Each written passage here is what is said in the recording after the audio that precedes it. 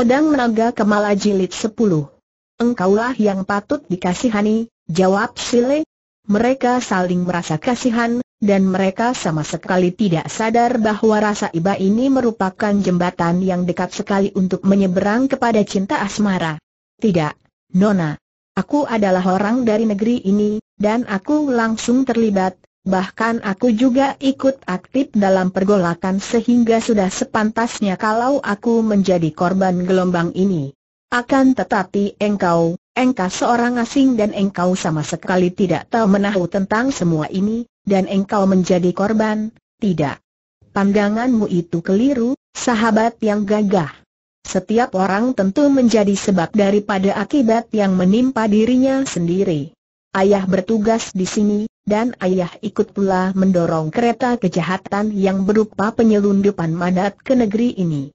Itulah sebab terjadinya musibah hari ini. Dan apabila ada angin ribut melanda, angin tidak memilih pohon apa saja tentu akan dilandanya, daun apa saja, bunga apa saja mungkin rontok oleh amukan angin dan badai. Biar aku tinggal di negeriku sendiri, kalau di sana terjadi badai seperti di sini, kalau terjadi pergolakan, mungkin saja aku tertimpa dan menjadi korban.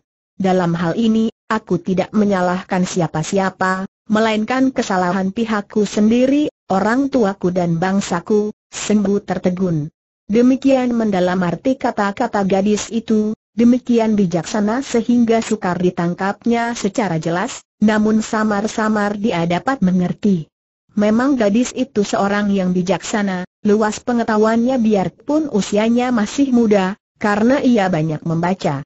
Bacaan, kalau dilakukan dengan tekun, kalau dilakukan dengan pencurahan perhatian, merupakan sumber pengetahuan dan pengertian dan memupuk kebijaksanaan. Seorang bijaksana akan melihat bahwa segala akibat itu tentu bersebab, dan kalau diteliti, maka segala akibat yang menimpa diri sendiri sudah pasti sebabnya bersumber pada diri sendiri pula.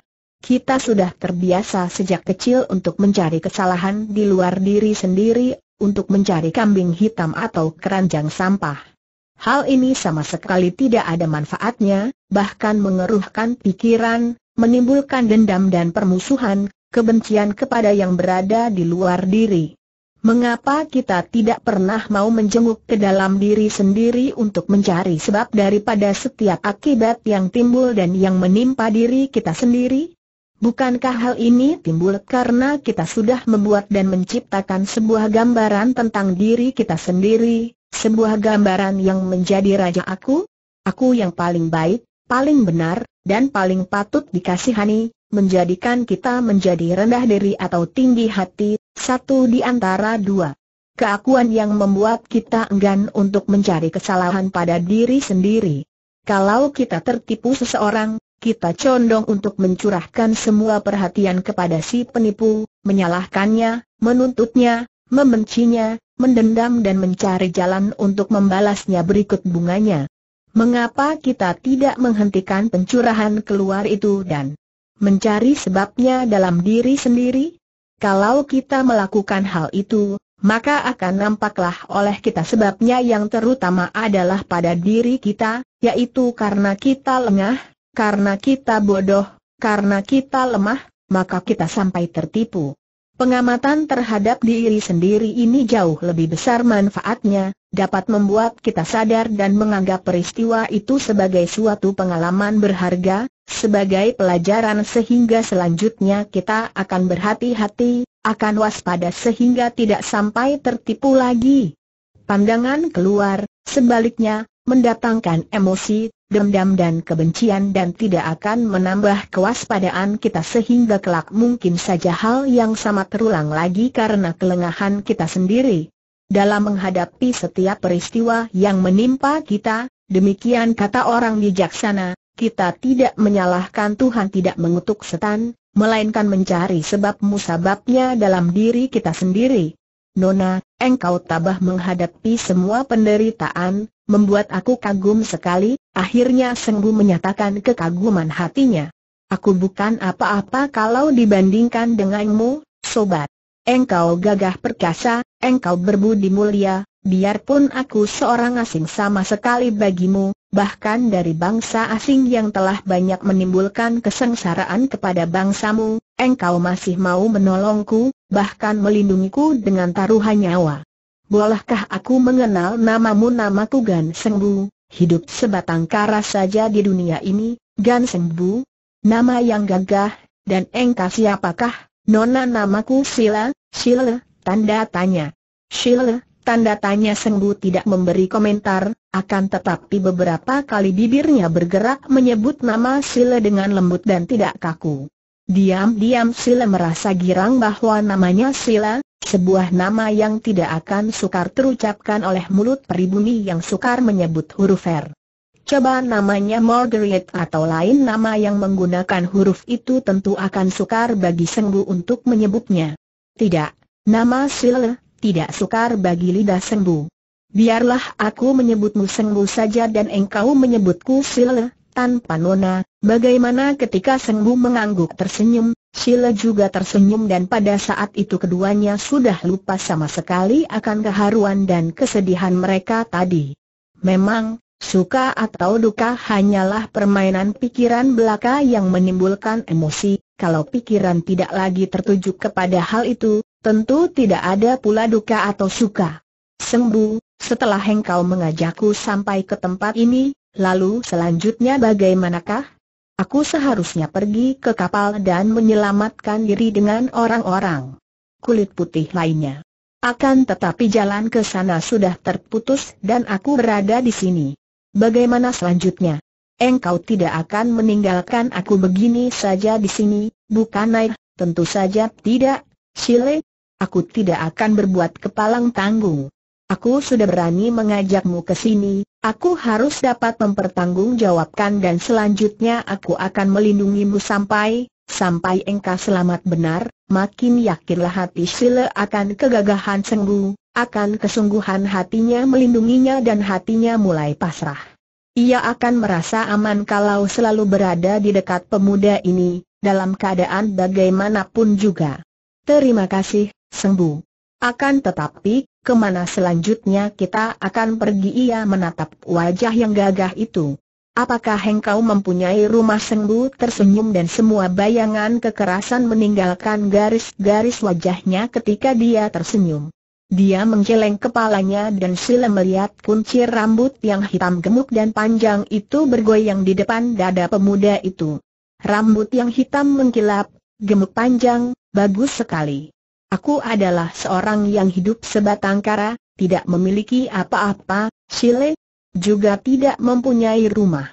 Akan tetapi untuk sementara ini, Aku tinggal bersama kawan-kawan lain di dalam sebuah hutan di mana dibangun pondok darurat besar di mana kami tinggal bersama, kawan-kawannya, kawan-kawan seperjuangan, orang-orang gagah yang mempunyai cita-cita yang serupa, yaitu mengenyahkan penjajah asing dari tanah air. Ah, sekarang aku tahu Sila berkata dengan sikap gembira. Aku sudah pernah baka dan mendengar tentang pendekar-pendekar patriot yang bercita-cita membebaskan tanah air dari cengkeraman pemerintah Manchu. Ada perkumpulan tombak merah, pintu besar, Tian Tepang. Yang manakah perkumpulan Musengbu menggeleng kepalanya? Aku bebas, tidak terikat perkumpulan yang mana pun, Sile. Akan tetapi ada ku kenal mereka itu karena kami setujuan, dan yang kini berkumpul dan bersembunyi di dalam hutan itu, sebagian besar memang anggota-anggota Tian Tepang, sebagian pula adalah pejuang-pejuang sukarela seperti aku, termasuk suhengku yang menjadi tokoh Tian Tepai yang terkenal pula. Sile lalu diajak melanjutkan perjalanan oleh Senggu, memasuki sebuah hutan besar dan di tengah-tengah hutan itu Sile dan Senggu disambut oleh puluhan orang. Mereka semua terheran-heran melihat munculnya Sengbu bersama seorang gadis kulit putih yang cantik jelita.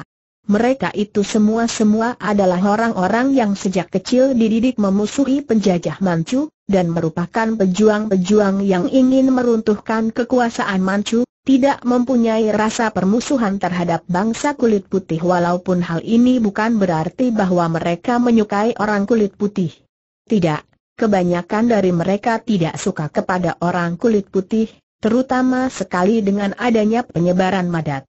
Namun, mereka tidak memusuhi bangsa asing ini secara terbuka.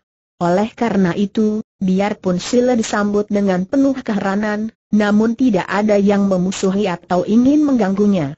Sembu lalu memperkenalkan Siles sebagai seorang gadis yang kehilangan semua keluarganya yang tewas oleh mereka yang anti bangsa kulit putih dan bahwa dia telah menyelamatkan gadis itu dari gangguan penjahat-penjahat yang hendak memperkosanya.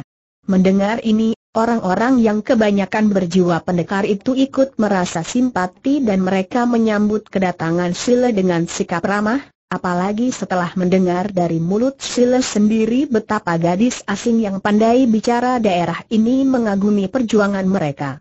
Sheila pandai bicara daerah, dan sikapnya juga ramah, wajahnya manis menarik, maka sebentar saja semua orang merasa suka dan kasihan kepadanya.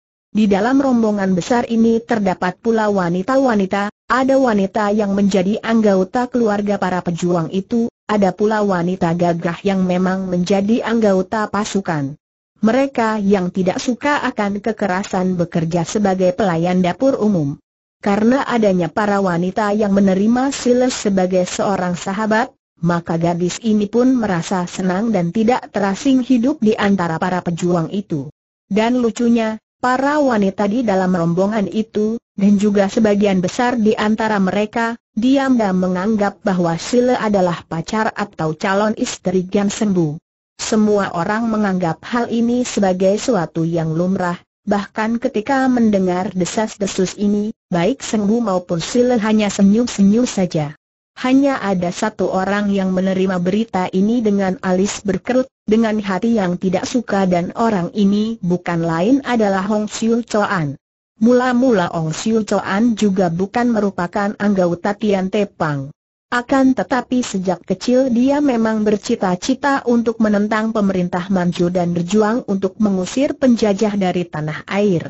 Maka, begitu bertemu dengan perkumpulan seperti Tian Tepang yang terdiri dari orang-orang yang memiliki cita-cita demikian pula, hatinya segera tertarik dan dia pun menggabungkan diri dan Siu Choan merupakan seorang pejuang yang gagah perkasa, berilmu tinggi sehingga sebentar saja namanya terkenal sekali di antara orang-orang Tian Tepang, bahkan dia dianggap sebagai seorang tokoh Tian Tepang walaupun dia tidak menjadi anggota secara syah. Dalam perkelahian dan penyerbuan terhadap pasukan pemerintah, Siu Choan selalu berada di depan dan dicontoh oleh lain-lainnya, bahkan menjadi pemimpin mereka. Ketika berjumpa dengan sutenya dalam keributan di sekitar kanton, Siu Choan membujuk sutenya untuk bergabung. Sengbu tidak memiliki cita-cita seperti suhengnya, namun dia berjiwa pendekar dan melihat bahwa Tian Tepang terdiri dari orang-orang gagah yang juga membela kaum lemah, dia pun tidak berkeberatan untuk menggabungkan diri. Ketika melihat sutenya pulang ke hutan bersama seorang gadis kulit putih yang cantik, Mula-mula Siu Choan hanya tersenyum saja dan menyambut dengan sikap biasa saja. Akan tetapi, aneh sekali, begitu mendengar bahwa gadis itu adalah pacar dan calon istri Senggu, mulailah timbul perasaan tidak enak di dalam hatinya. Dia sendiri tidak tahu bahwa itu adalah permulaan perasaan iri. Mulailah dia memperhatikan Sila dan makin diperhatikan, Makin kagum dia karena baru sekarang dia melihat bahwa Sile adalah seorang gadis yang cantik sekali, dan memiliki bentuk tubuh yang amat menggairahkan. Perlu diketahui bahwa Tian Tok yang menjadi guru dua orang pemuda itu adalah seorang datuk sesat yang berhati kejam sekali. Juga Tian Tok, seperti kebanyakan datuk sesat lainnya, mempunyai watak macu keranjang dan suka menggoda wanita. Memang, setelah usianya tua sekali, yaitu setelah menjadi guru kedua orang muda itu, kegilaannya akan wanita tidaklah seperti dahulu di waktu muda.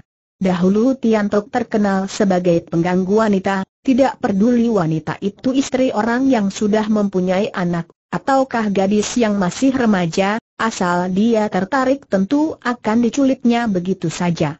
Ketika dia menjadi guru Siu Choan dan Senggu, hanya beberapa kali saja dia menculik wanita dan hal ini pun diketahui oleh dua orang muridnya. Diam-diam sembuh hanya merasa tidak senang, akan tetapi tidak berani menentang gurunya. Sebaliknya, Siu Choan diam merasa senang dan bahkan mencoba untuk mengintai apa yang diperbuat oleh suhunya. Dan secara diam-diam pula, di luar tahu sutainya, beberapa kali Siu Choan juga mengikuti jejak gurunya, mengganggu wanita dengan paksa atau dengan halus. Demikianlah, terdapat suatu watak buruk tersembunyi di balik lubuk hati Siu Choan yang kelihatannya bersikap sebagai seorang pejuang, seorang patriot dan pendekar yang gagah perkasa itu. Dan melihat Sila, timbul pula gairahnya yang didorong oleh perasaan iri dan cemburu terhadap sutainya, apalagi melihat betapa Sila selalu bersikap manis dan mesra terhadap Sembu. Mulailah dia mendekati gadis kulit putih itu, Mula-mula hal ini dilakukan ketika Sengwu sedang tidak ada, dan secara wajar seperti seorang sahabat. Dibandingkan dengan Sengwu, Siu Choan lebih pandai bicara, pandai membawa diri dan menyesuaikan diri dengan keadaan sekelilingnya. Juga dia lebih pandai dalam hal kesusastraan, lebih luas pengetahuan umumnya, dan tentu saja jauh lebih pandai dibandingkan dengan Sengbu mengenai tulisan dan bacaan karena di waktu kecilnya Siu Choan pernah bersekolah, tidak seperti Sengbu yang hanya anak keluarga pemburu yang kasar. Oleh karena itu setelah Siu Choan melakukan pendekatan, tidak mengherankan kalau Sile cepat tertarik sekali dan nampak bergaul akrab dengan Siu Choan. Sheila kini menjadi semakin kagum saja setelah hidup di tengah-tengah para pendekar dan pejuang itu.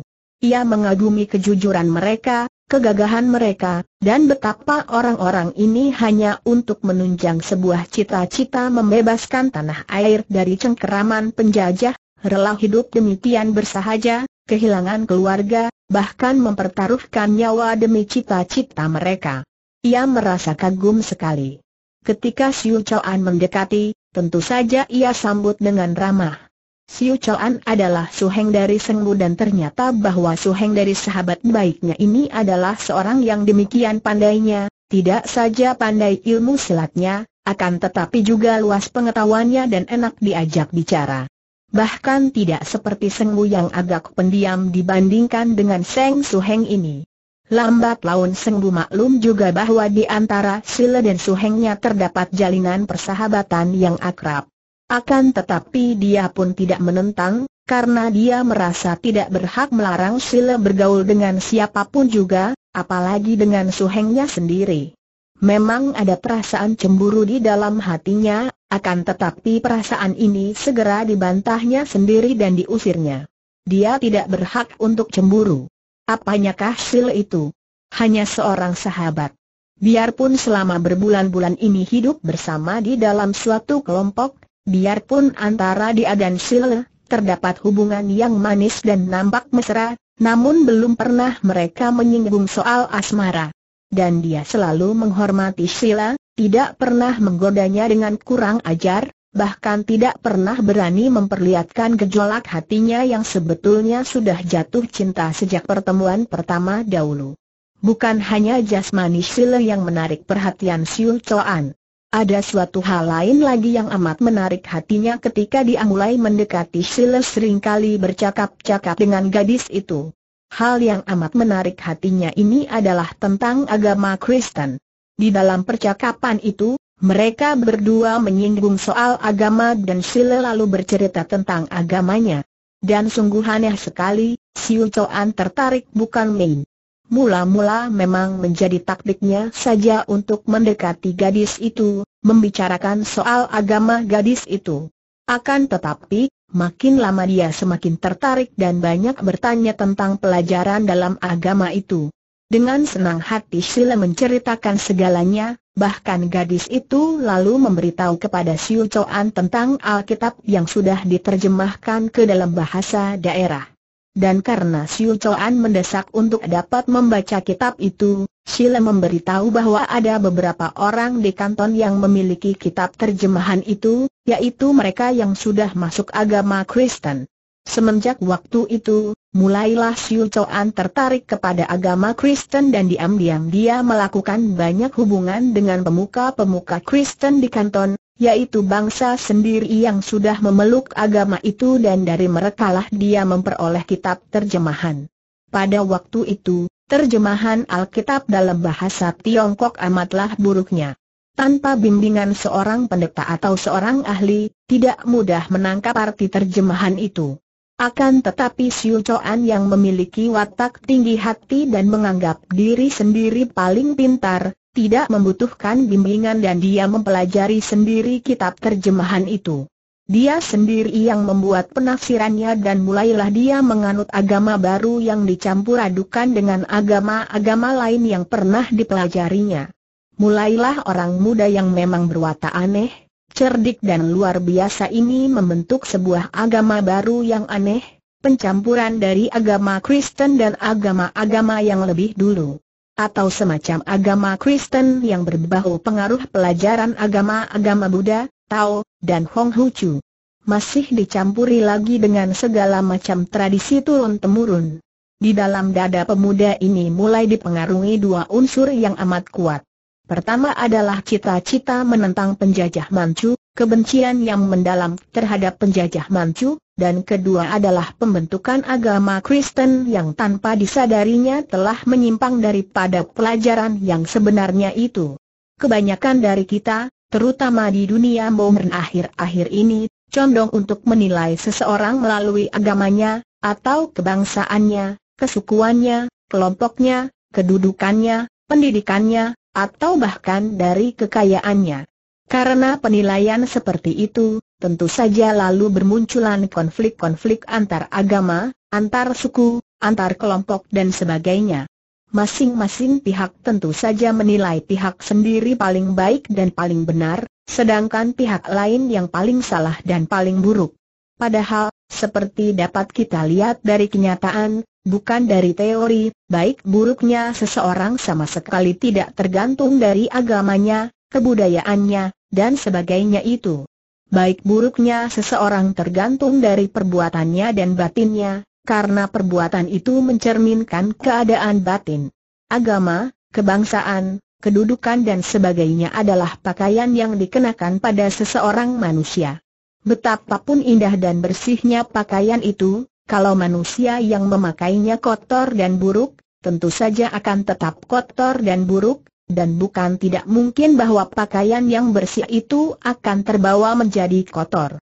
Agama hanyalah suatu pelajaran bagi manusia agar hidup menurut jalur yang benar dan baik, akan tetapi tentu saja bukan agamanya yang menentukan, melainkan manusianya sendiri karena dapat saja dia menyeleweng daripada jalur itu. Sayang bahwa banyak yang tidak melihat kenyataan ini. Kita terlalu mementingkan pakaian-pakaiannya sehingga melupakan manusia itu sendiri. Banyak pertikaian timbul di antara manusia karena pakaian itu, karena agama, karena suku, karena bangsa, karena kedudukan dan kekayaan, dan semua ini bersumber kepada keakuan yang ingin senang, ingin benar sendiri. Demikian pula yang terjadi dengan Ong Siu Choan, dia bukan orang sembarangan. Sejarah membuktikan bahwa Ong Siu Choan, 1814-1864, kelak menjadi seorang pemimpin besar dari kelompok pejuang yang pernah menggegerkan Tiongkok dengan gerakan yang terkenal dengan nama Taipeng. Akan tetapi sungguh patut disesalkan bahwa manusia Ong Siu Choan yang terbuai oleh cita-cita, terbuai oleh segala macam pelajaran yang diciptakannya sendiri sehingga dia menjadi tersesat. Dia demikian tertarik kepada sila dan mulai bermimpi untuk menjadi seorang pemimpin rakyat seperti yang dicita-citakan, memimpin rakyat bangkit menentang penjajah dengan sila sebagai istri di sampingnya, dan dia bersama Sile akan menyebarkan agama barunya. Terdorong oleh perasaan ini, pada suatu pagi dia mencari Sile. Gadis itu sedang mencuci pakaian bersama para wanita lain di anak sungai yang jernih airnya, di lereng bukit. Dengan amat ramah Siu Choan lalu membantu gadis itu mencuci pakaian. Tentu saja Sile tidak mau menolak bantuan ini, akan tetapi sambil tertawa Siu Choan berkata, Sheila, apakah pakaianmu terlalu kotor maka engkau malu kalau aku membantumu mencucinya Ucapan ini tentu saja membuat Sheila tidak dapat menolak lagi dan terpaksa memberikan beberapa baju luar yang sedang dicucinya, sedangkan ia mencuci pakaian dalamnya. Tentu saja perbuatan Siu Choan ini memimpin suara ketawa tertahan dan senyum simpul para wanita yang sedang mencuci pakaian.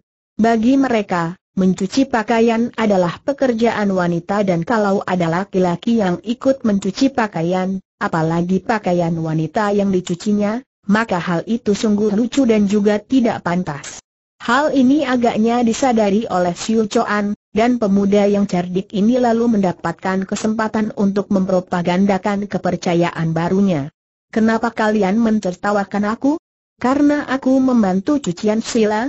Ah, tentu kalian berpikir bahwa mencuci pakaian tidak pantas bagi pria? Itu adalah pikiran yang kuno dan kotor yang harus dibuang. Di dalam pandangan Tuhan, derajat pria dan wanita sama saja. Kalau wanita boleh mencuci pakaian pria, kenapa pria tidak boleh mencuci pakaian wanita? Pria bukanlah manusia istimewa yang harus dibedakan dan lebih tinggi derajatnya daripada wanita. Kalian harus mempelajari agama baruku, maka kalian akan dapat berpikiran maju seperti aku dan derajat kalian akan sama dengan pria. Ucapan Siu Choan tentang derajat, tentang persamaan hak antara pria dan wanita itu pada waktu itu terdengar amat janggal dan lucu, maka ramailah orang-orang perempuan itu terkekeh mentertawakan. Akan tetapi Siu Choan hanya tersenyum saja dan memang pemuda ini pandai sekali membawa diri sehingga banyak wanita yang suka dan kagum kepadanya. Setelah selesai mencuci pakaian, Siu Choan mengantarkan Sile pulang membawa cuciannya. Kesempatan inilah dipergunakan Siu Choan untuk mengajaknya bicara berdua saja. Di tengah perjalanan, dia mengajak gadis itu berhenti. Ada apakah, Si Chokan? Engkau kelihatan ada sesuatu yang amat penting untuk dibicarakan dengan kutanya Sile. Memang tepat dugaanmu, Sile. Aku ingin menyampaikan sesuatu yang amat penting, sesuatu yang amat suci dan untuk itu, semalam aku telah menerima petunjuk sendiri dari Tuhan. Ah, benarkah Sile sendiri kadang-kadang terkejut dengan pernyataan Siu Choan? Pernah pemuda itu menceritakan betapa semalam dia digoda setan dan setan itu diusirnya dengan kekuatan doa. Pernah pula suatu kali dia mengatakan bahwa semalam dalam keadaan antara sadar dan tidak sadar dia bertemu dengan Jesus. Aku tidak membohong, Shile. Dan petunjuk itu mengatakan bahwa kelak aku akan menjadi raja, Eh haha tanda tanya bukan raja seperti kaisar penjajah sekarang, melainkan raja di antara rakyat untuk membebaskan rakyat dari penjajah, untuk menuntun rakyat ke jalan terang, untuk mengajak dan membawa rakyat ke kaki Tuhan, hem, itu bagus sekali, Siu dan di sampingku ada engkau, Shile, engkaulah yang membantuku, bahkan engkau yang memperkuat imanku, mempertebal keberanianku dan memperteguh tekadku, menambah semangatku, aku, ah, itu pun baik sekali, kata Sile yang mengira bahwa Siu Choan tentu hanya menceritakan mimpinya saja dan apa salahnya kalau ia juga dimasukkan ke dalam mimpi itu. Baik sekali, Sile. Benarkah itu dan tiba-tiba Siu Choan memegang tangan Sile dengan lembut. Benarkah engkau menganggapnya baik sekali barulah Sile gelagapan. Pegangan Siu Choan demikian kuatnya sehingga menakutkan hatinya. Juga naluri kewanitaannya merasakan hal tidak wajar. Apalagi ketika ia menyambut pandang mata pemuda itu, melihat betapa sepasang metu itu mengeluarkan sinar yang aneh, sinar mata seorang laki-laki yang penuh berahi. Sheila gemetar dan dengan hati-hati ia menarik tangannya terlepas dari genggaman tangan Siu Choan dan hatinya merasa lega karena pemuda itu tidak menahannya.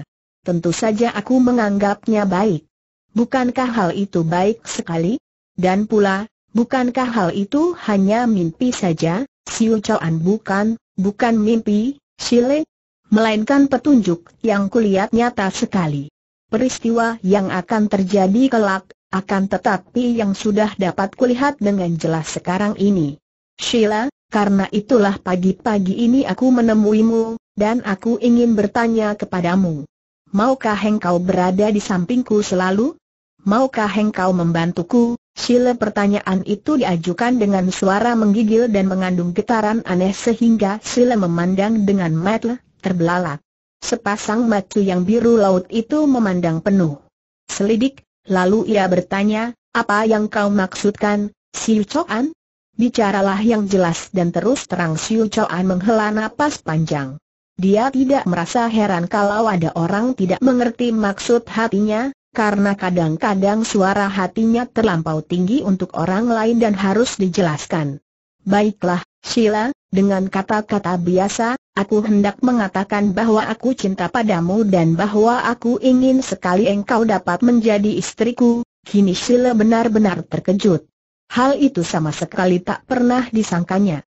Memang ia suka bergaul dengan pemuda ini, suka bercakap-cakap karena selain Siu Choan mempunyai sikap yang menarik dan menyenangkan, juga pemuda ini pandai sekali. Lebih-lebih karena Siu Choan menaruh perhatian demikian mendalamnya tentang agama Kristen. Akan tetapi sama sekali tidak pernah disangkanya bahwa Siu Choan menaruh hati kepadanya. Bukankah sudah jelas bagi Siu Choan dan bagi semua orang bahwa ia dan Seng Bu mempunyai pertalian hati yang mendalam? Bukankah merupakan hal yang jelas bahwa ia dan Seng Bu saling mencinta? Dan tiba-tiba saja gadis itu teringat betapa ia dan Seng Bu belum pernah mengatakan cinta itu satu sama lain, walaupun tentu saja mereka dapat saling merasakan tentang hal itu melalui sinar mata, melalui senyum dan getaran kata-kata. Ah, tidak, Siu Choan.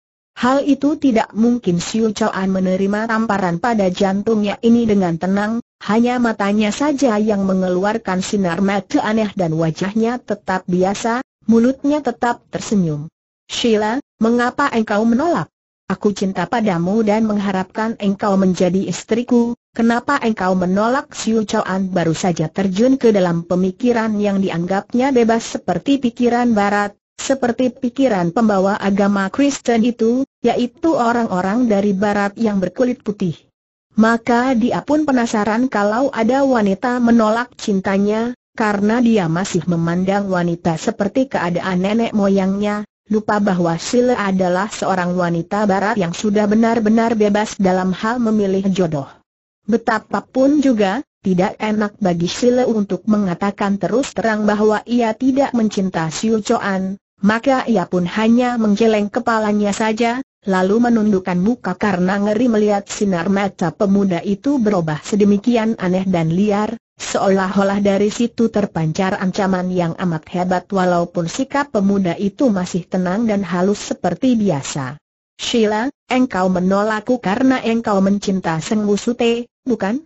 Karena engkau dan dia sudah ada ikatan batin untuk kelak menjadi suami istri pertanyaan yang tiba-tiba ini seperti todongan pistol pada dadanya dan amat mengejutkan karena hal itu sesungguhnya merupakan rahasia hatinya dan belum pernah diutarakan, bahkan kepada Senggu sekalipun belum pernah ia menyatakan isi hatinya, Walaupun ia tahu bahwa Senggu mencintanya dan ia yakin pula bahwa pemuda gagah perkasa itu pun dapat menduga akan isi hatinya.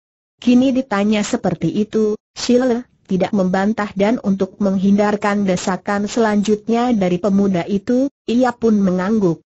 Benar, aku mencinta Sengbu, jawabnya lirih karena diam-diam ia pun merasa kasihan kepada Siu Choan karena terpaksa cintanya hanya bertepuk sebelah tangan.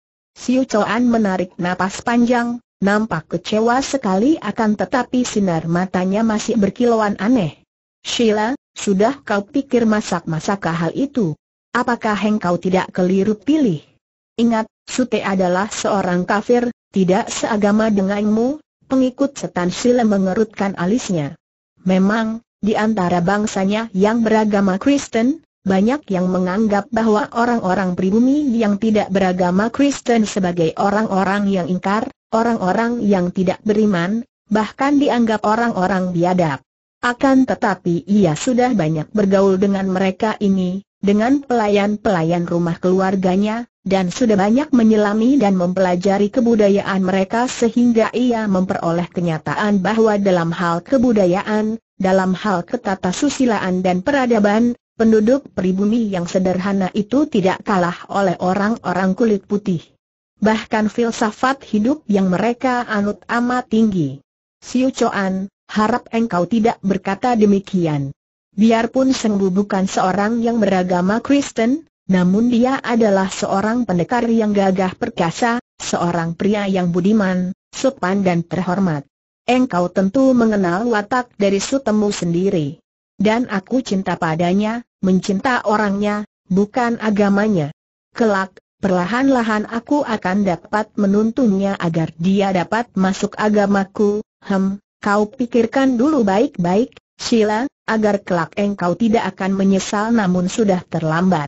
Terus terang saja, biarpun Sute juga seorang pria yang gagah perkasa, namun dia sama sekali tidak sepadan menjadi jodohmu. Dia bodoh, pengetahuannya sempit, jalan pikirannya sederhana, tanpa cita-cita, dan engkau akan hidup melarat dengan dia. Nah, biarlah lain kali kalau engkau sudah memikirkan hal ini masak-masak, kita bicara lagi, Wajah gadis itu berubah merah dan matanya memancarkan sinar kemarahan mendengar pemuda kekasih hatinya dijelek-jelekan oleh Siu Choan. Siu Choan, tidak perlu kau memburuk-burukan sutemu sendiri di depanku. Aku mencintanya, dan cinta tidak memandang kemelaratan dan kebodohan tak perlu kupikirkan lagi, dan mengenai hubungan antara kita tidak perlu dibicarakan lagi. Siu Choan menggoyangkan kedua pundaknya lalu meninggalkan gadis itu dengan cepat karena pada saat itu dia melihat berkelebatnya bayangan Sengwu yang datang dari jauh. Ketika dia pergi dengan berlari cepat, agaknya baru saja meninggalkan Sheila, Sengwu menegur ramah, Suheng tanda seru akan tetapi yang ditegur terus lari, menoleh pun tidak sehingga Sengbu merasa heran, akan tetapi dia mengira bahwa tentu Suhengnya itu tidak mendengar seruannya dan dia pun melanjutkan larinya menghampiri Sile. Dia mengerutkan alisnya dengan hati khawatir ketika melihat Sile masih berdiri di situ dan wajah gadis itu nampak masih merah dan wajah itu pun membayangkan ketegangan hati. Sheila, apakah yang telah terjadi? Bukankah Suheng tadi dari sini Sila memandang wajah Sengbu, lalu menarik napas panjang dan mengangguk. Benar, dia baru saja meninggalkan aku dengan marah agaknya, eh. Kenapakah? Apa yang telah terjadi antara kalian sehingga Suheng menjadi marah kepadamu Sila mengaku terus terang. Dia kecewa karena cintanya ku tolak, Sengbu terbelalak dan menatap wajah Sila penuh selidik. Wajah gadis itu segar dan manis sekali karena tadi sambil mencuci pakaian gadis itu mandi dan menggosok kulit mukanya dengan batu halus seperti yang dilakukan oleh wanita-wanita lain. Apalagi kini gadis itu merasa tegang, kedua pipinya menjadi merah sekali dan sepasang metu yang indah lebar itu bersinar-sinar seperti sepasang bintang pagi. Apa, apa maksudmu sama sekali dia tidak mengira bahwa suhengnya juga mencinta gadis kulit putih ini, maka tentu saja pengakuan Sheila tadi mengejutkan hatinya. Sheila tersenyum untuk menenangkan hatinya sendiri, juga hati Sengbu, lalu berkata dengan halus, Sengbu, tadi suhengmu itu mengatakan bahwa dia cinta padaku dan bahwa dia ingin aku menjadi calon istrinya, Biarpun pemberitahuan pertama tadi sudah dimengertinya, namun penjelasan ini tetap saja amat mengherankan dan mengejutkan hati Sembu. Suhenya, kelihatan sama sekali tidak memperlihatkan perasaan itu terhadap Sila, dan Suhengnya tahu benar bahwa dia mencinta Sile, dan, dan kau tanda tanya tentu saja aku menolaknya dan dia kelihatan kecewa, lalu pergi meninggalkan aku, akan tetapi, kenapa, Sile, Kenapa kau, kau menolaknya? Su Heng adalah seorang pendekar yang gagah perkasa dan dia mempunyai cita-cita yang besar untuk menjadi seorang pemimpin besar. Tentu saja Seng Wu sudah tahu benar akan cita-cita Su Hengnya yang selalu didengung-dengungkan itu. Kenapa? Karena aku tidak cinta padanya, mengapa engkau tidak cinta padanya? Sile Seng Wu bertanya, di dalam suaranya terkandung nada mendesak yang aneh dan kini pemuda itu menatap wajah Sila dengan tajam, penuh selidik. Oh, Sengbu, alangkah kejam hatimu mengajukan pertanyaan seperti itu. Sengbu, perlukah kita berpura-pura lagi? Perlukah selama ini kita saling menyembunyikan perasaan? Engkau tentu tahu mengapa aku tidak bisa mencinta orang lain. Engkau tentu tahu bahwa aku hanya mencinta seorang pria saja di dunia ini dan aku tahu pula bahwa dia mencintaku sepenuh hatinya. Akan tetapi, pria itu masih berpura-pura lagi, bertanya mengapa aku tidak mencinta pria lain. Betapa kejamnya engkau, dan Sile lalu terisak menangis. Hati Sengbu diliputi keharuan dan melihat Sile menangis, suatu dorongan kuat membuat dia melangkah maju dan di lain saat, entah siapa yang memulai gerakan itu, tahu-tahu Sile telah berada dalam dekapannya. Gadis itu merebahkan mukanya di dada yang bidang itu dan merasa aman sentosa penuh kedamaian. Kedua matanya menitikan air mata dan kedua lengannya memeluk leher, sedangkan kedua lengan Sengbu melingkari tubuhnya dalam rangkulan ketat. Seolah-olah pemuda itu khawatir kalau-kalau tubuh yang dirangkulnya itu akan terlepas. Maafkan aku, Shile, Aku tahu bahwa engkau cinta padaku dan bahwa aku pun cinta padamu, bahwa tanpa kata sekalipun kita sudah yakin akan cinta kita masing-masing. Akan tetapi aku, aku selalu khawatir akan kehilangan engkau, Shile. Aku, aku merasa betapa aku ini kesasar, bodoh dan miskin, merasa tidak layak berada di sampingmu, karena itu, tadi aku meragu, ah, sudahlah sembuh. Aku hanya mencinta engkau seorang, sejak pertama kita saling jumpa dan aku takkan mau berpisah lagi dari sisimu, dan aku, aku hanya memiliki engkau seorang, mereka saling dekat dan sila yang memulai lebih dahulu ketika mereka saling mencium, karena Sengbu takkan berani mendahuluinya, apalagi dia seorang pemuda yang sama sekali belum pernah berdekatan dan berhubungan dengan seorang wanita. Pada saat itu, mereka merasa-merasa semakin yakin akan cinta kasih masing-masing, perasaan cinta yang terasa sampai jauh sekali di dasar hati masing-masing, kemesraan yang membuat semua bulu di tubuh mereka meremang. Suara cekikikan para wanita yang tadi mencuci pakaian bersama Sila, menyadarkan dua orang muda itu dari keadaan yang asik masuk itu. Mereka cepat saling melepaskan rangkulan dan keduanya menjadi jengah kemalu-maluan, wajah mereka kemerahan dan mereka membiarkan para wanita itu lewat tanpa dapat mengeluarkan kata-kata. Ada orang melihat kita, Sheila, ini berarti bahwa kita harus cepat-cepat menikah agar tidak menjadi perguncingan orang. Maukah engkau menikah denganku? Sila mencium pipi dan dagu pemuda itu dengan hidungnya, kelembutan yang membuat Sengbu hampir menitikan air mata saling saking bangga, haru dan bahagianya. Engkau masih bertanya lagi? Setiap saat aku bersedia, Sengbu, setiap saat. Sudah sejak lama aku merasa bahwa aku adalah milikmu, seluruhnya, aku telah menyandarkan seluruh kehidupanku kepadamu. Sambil menggandeng tangan Sila, Sembu lalu menemui kawan-kawan seperjuangannya dan mengumumkan bahwa dia hendak melangsungkan pernikahannya dengan Sila di dalam hutan itu juga. Semua kawan seperjuangannya yang merasa kagum kepada Sembu akan kegagahannya, bersorak gembira dan mereka lalu bergotong royong membuat persiapan untuk pesta sekedarnya menyambut pernikahan itu.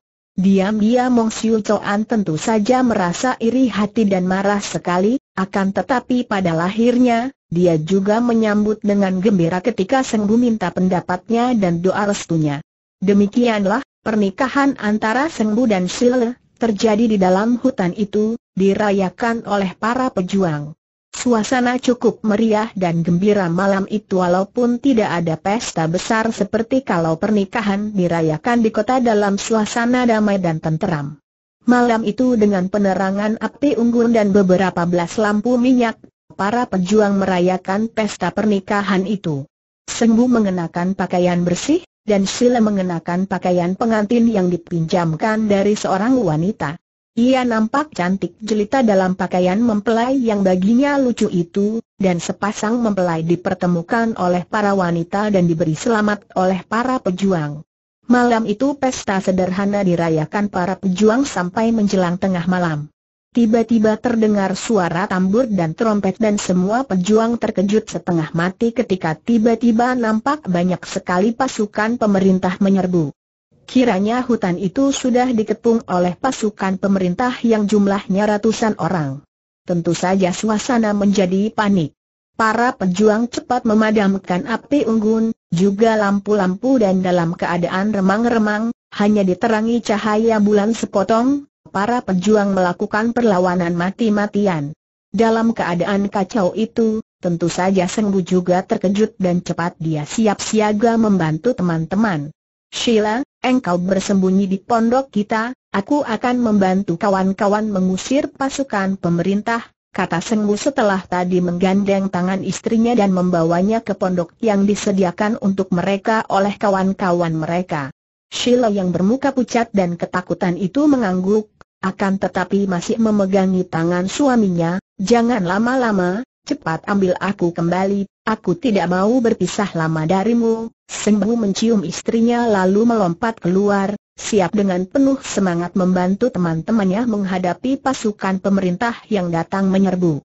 Dia tidak tahu bagaimana pasukan pemerintah dapat mengetahui tempat persembunyian para pejuang itu dan menyerbu di malam itu, kebetulan ketika pernikahannya sedang dirayakan.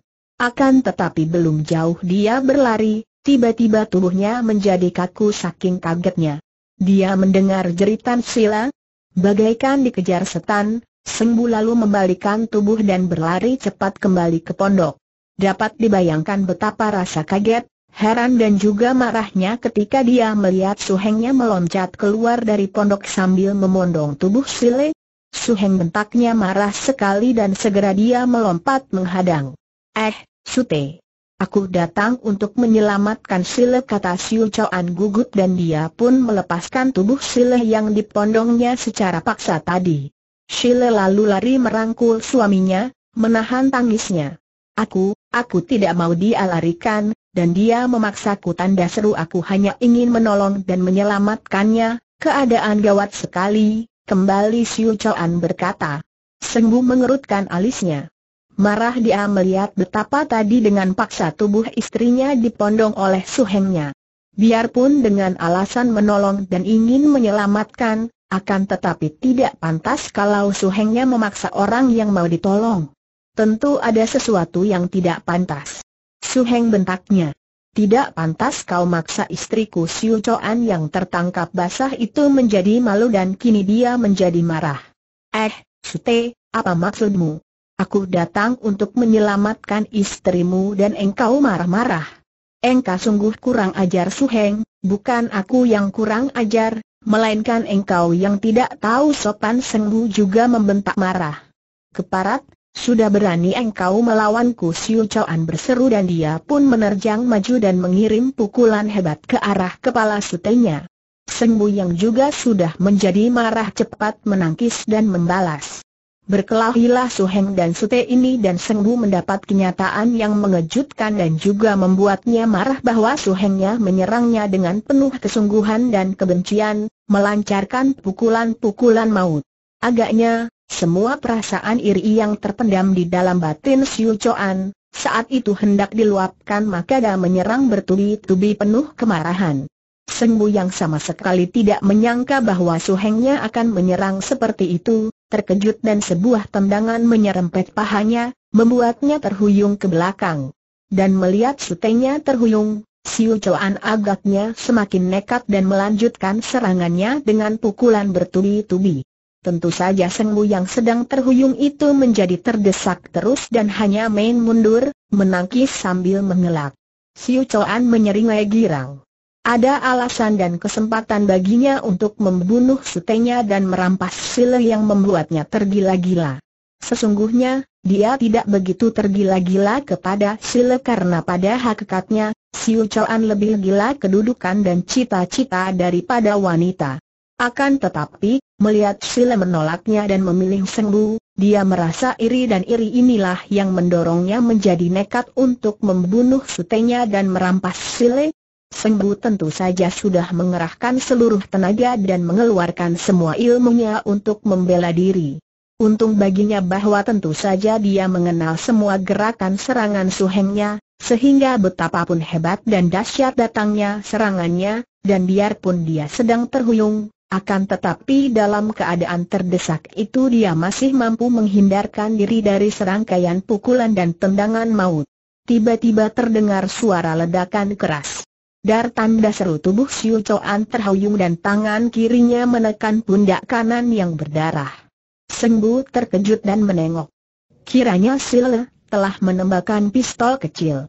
Pistol ini memang tak pernah terpisah dari badan gadis itu, selalu disembunyikan dalam lipatan bajunya dan kini, melihat suaminya terdesak, ia pun dengan nekat lalu mengeluarkan pistolnya dan menembak ke arah Siu Choan. Gadis ini memang pernah dilatih menggunakan pistol oleh ayahnya, dan pistol itu pun pemberian ayahnya, maka ia dapat menembak dengan cepat. Gerakan Siu Choan yang berusaha mengelak secara refleks ketika letusan terdengar membuat peluru yang ditujukan ke arah dada itu hanya mengenai ujung pangkal lengan. Akan tetapi cukup membuat kulit terkupas dan daging menonjol di ujung pundak juga tertembus peluru, nyerinya bukan kepalang karena luka itu seperti terbakar oleh besi panas. Sheila jangan tembak lagi Sengbu berseru kaget melihat suhengnya terluka. Dia mengira bahwa suhengnya terluka dadanya, karena darah mengalir dan membasahi baju suhengnya itu. Dan pada saat itu, belasan orang anggota pasukan pemerintah datang menyerbu. Sengbu yang melihat suhengnya masih lemah terhuyung, terancam tusukan tombak seorang prajurit, melompat ke depan dan sekali tendang, prajurit itu roboh dan suhengnya terbebas dari ancaman maut. Melihat ini, Siu Choan tersenyum.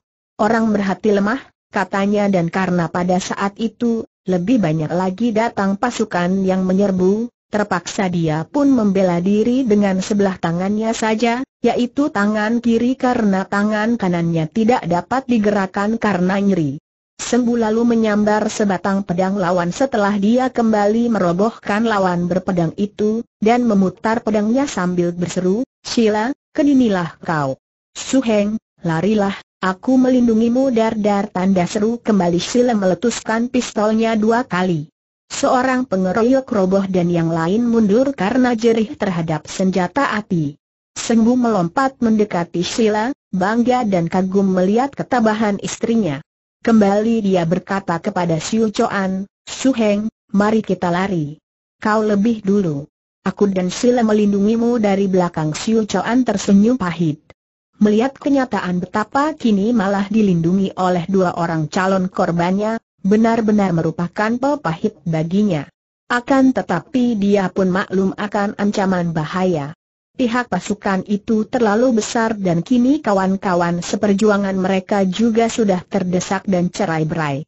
Maka tanpa mengeluarkan sepatah kata pun, dia meloncat dan lari ke barat, diikuti oleh Sengbu dan Sila, mereka dihadang lagi dan setelah tiga kali meletuskan pistolnya sehingga pelurunya dalam pistol habis, Sengbu lalu memondong istrinya dengan lengan kiri, tangan kanannya memegang pedang dan sambil melindungi istrinya dalam pondongan dan suhengnya yang terluka, akhirnya dia berhasil membawa mereka berdua lolos dari kepungan dan tiba di luar hutan itu dalam cuaca yang gelap.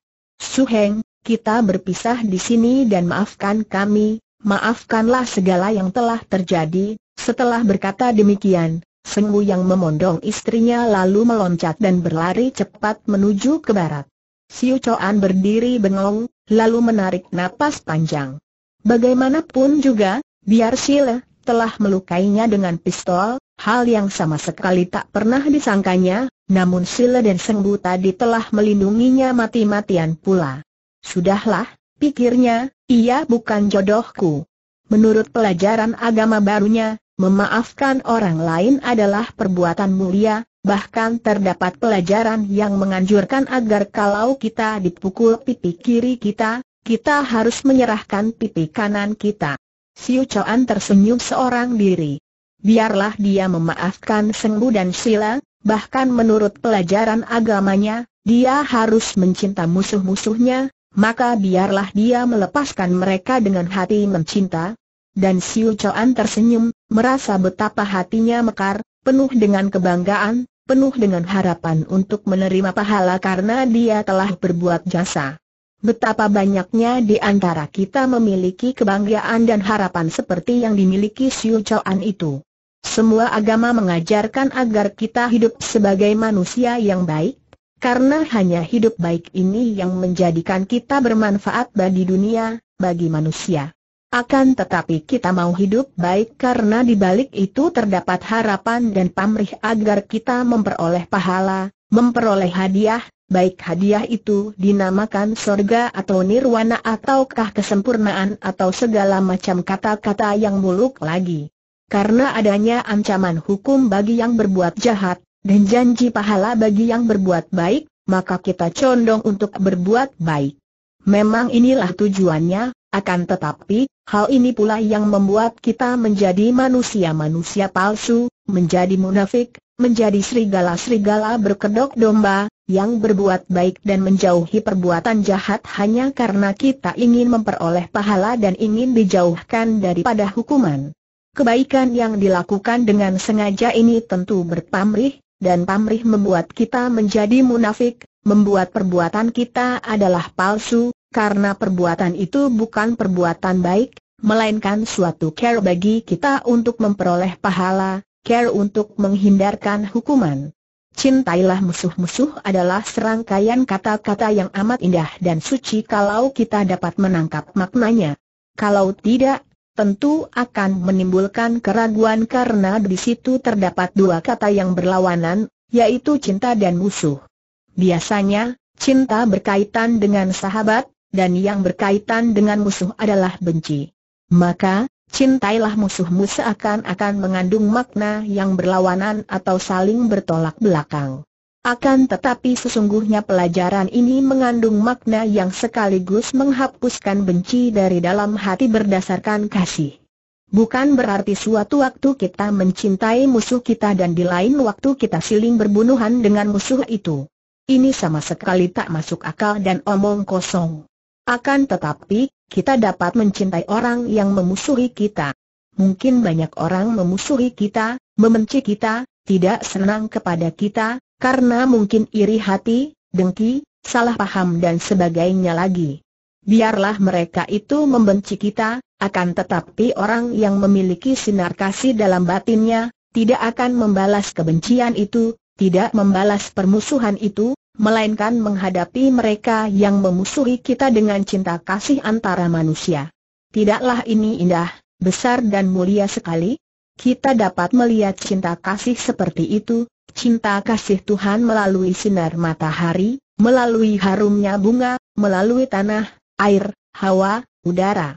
Biar ada manusia yang mengutuk dan membenci alam dan semua kekuasaan Tuhan, namun tetap saja semua itu memberikan dengan rela, kepada siapa saja tanpa pilih kasih, kepada mereka yang membenci sekalipun.